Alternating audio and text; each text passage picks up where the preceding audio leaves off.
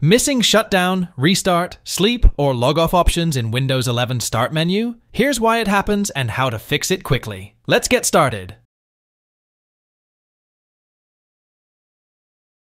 Search for Edit Group Policy in the search bar and open it.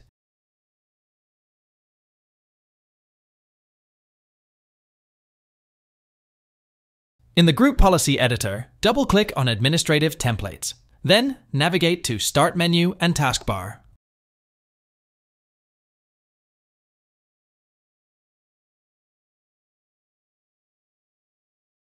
Look for an option called Remove and Prevent Access to the Shutdown, Restart, Sleep, and Hibernate commands.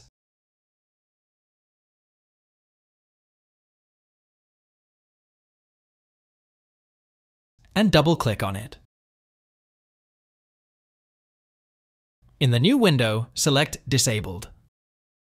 Click on Apply, and then OK. That should fix the issue for most users. Alright folks, let's tackle the next step to fix the issue. Ready? Here we go.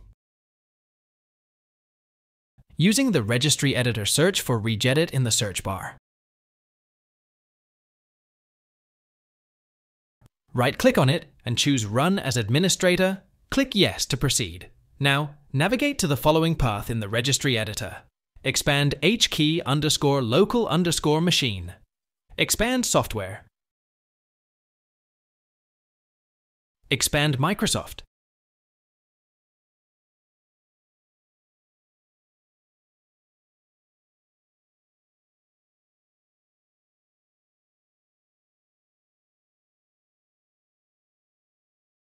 Expand Windows.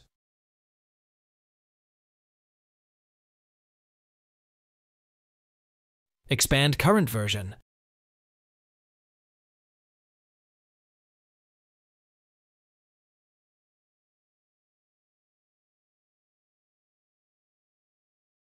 Expand policies and click on System.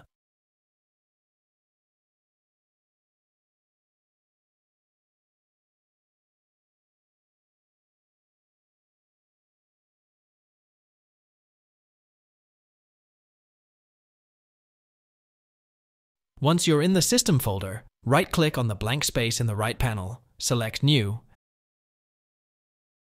and then choose DWORD, 32-bit value. Name the file as Shutdown without logon. If the file is already present, no need to create a new one.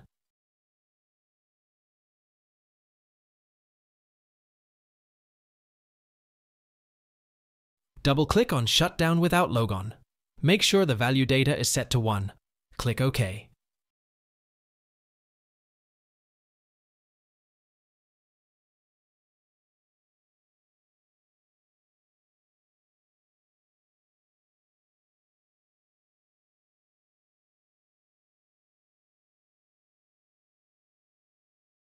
Finally, restart your PC by right-clicking on Windows Start and selecting Restart.